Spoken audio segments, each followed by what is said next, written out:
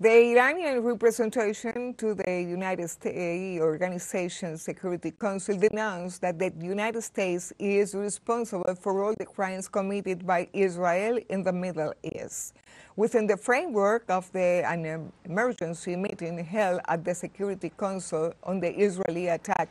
on the Iranian embassy in Syria, the Deputy Permanent Representative of Iran to the United Nations, Zahra Ershadi, point out that Israel's crimes clearly violate the founding charter of the United Nations, international law, and the inviolability of diplomatic rights and consular premise. He also reiterated that the attacks carried out by Israel are absolutely unacceptable and must stop.